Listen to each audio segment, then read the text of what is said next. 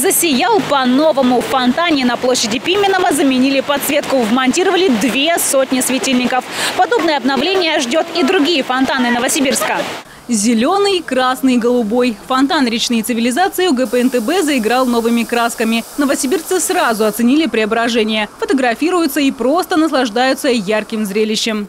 Красиво, красиво. Вот поэтому подошли, гуляли, подошли красиво, очень красиво. А с кем гуляли? С девушкой. Она отошла, застеснялась. Вот сейчас фотографирую и отправлю своим родственникам на север. Пусть тоже полюбуются, какая у нас красота.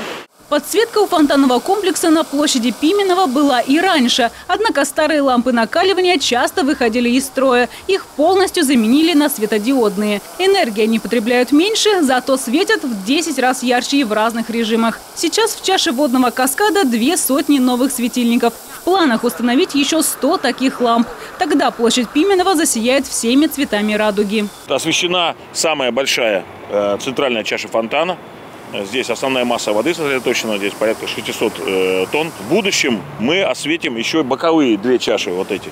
В дальнейшем у вас здесь возможно будет сделать вплоть до там, караоке. Контроллеры позволяют сделать здесь буквально цветомузыку то сейчас просто она будет переливаться. Но если это надо будет здесь, может быть, сделать какой-нибудь концерт, и люди будут петь, и э, в зависимости от тональности голоса будет меняться свет фонтанов. Подобную подсветку до конца этого сезона установят еще в двух фонтанах. В сквере на улице Орджоникидзе и у ДК «Энергия». В планах преобразить и другие новосибирские фонтаны. Анна Буянова и Данил Смирнов. Новосибирские новости. Спасибо за то, что смотрите «Новосибирские новости». Если вы хотите оперативно получать информацию, подписывайтесь на наш канал, ссылка внизу. А здесь мы разместили для вас интересное и полезное видео. Приятного просмотра!